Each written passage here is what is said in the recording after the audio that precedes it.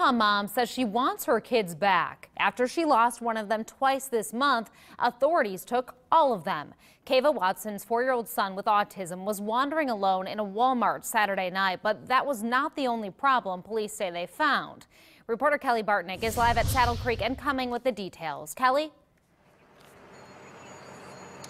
Jenny, someone first spotted the four-year-old here Saturday at this Sonic fast food restaurant. That was before he was found wandering the aisles at Walmart.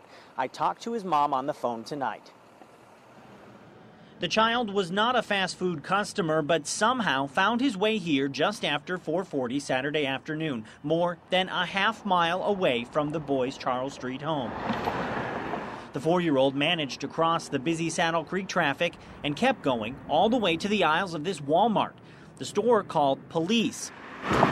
Police had seen the boy just days before wandering at another busy Saddle Creek intersection. Police say Kava Watson said she left him in a playroom around 4 Saturday afternoon, that she lost track of time, and he was gone when she checked just after 4:30. She drove to a relative's house and called 911. Police say when they brought the child back to the house, the conditions inside were not fit for children. They placed all four of Watson's children in protective custody and cited her on four counts of child neglect. Watson said she was overwhelmed by the ordeal and was already working with Child Protective Services to get her children back. She hopes to see them as soon as Wednesday.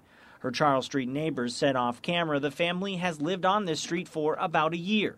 They watched police take the children away Saturday.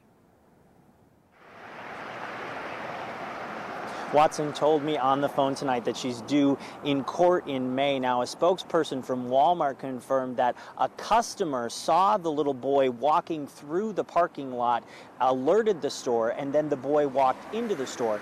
That's when an employee there called police. Reporting live tonight, Kelly Bartnick, Action 3 News.